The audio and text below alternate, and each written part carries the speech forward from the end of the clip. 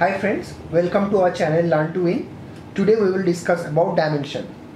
In competitive exams throughout the year, questions come from this part. We know every quantity has a different dimension.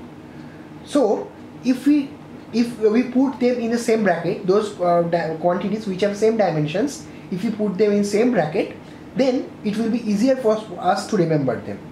So let's start. First is linear momentum and impulse. They both have same dimension because linear momentum is mass into velocity and impulse is also change in momentum. So they have similar dimensions.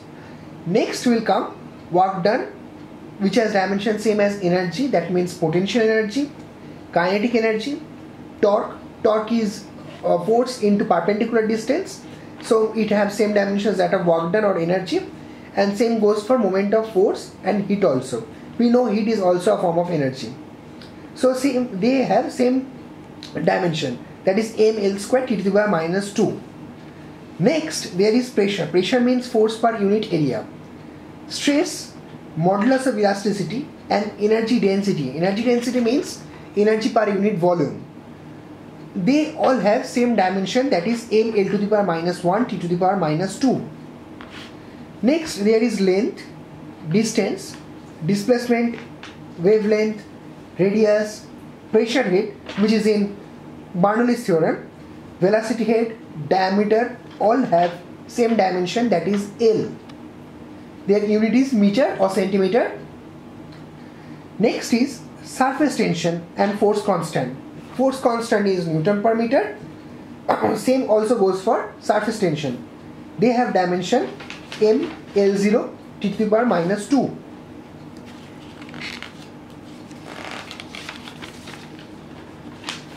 Then comes angular momentum and Planck's constant.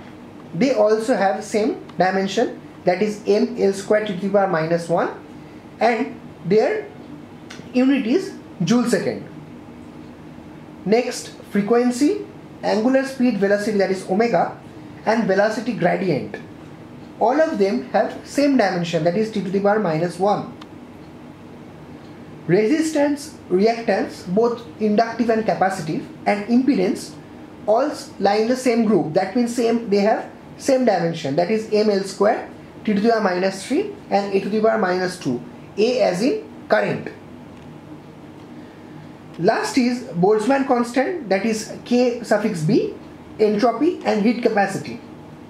Their dimension is ml square t to the power minus 2 k to the power minus 1 so in this way, if we put them in the same group, those have same dimension, we can easily remember them. That's all. If you like this video, please like the hit button below. For more updates and videos, please subscribe our channel, Learn to Win. Click the bell icon for notifications. Never miss another update from Learn to Win. Have a nice day.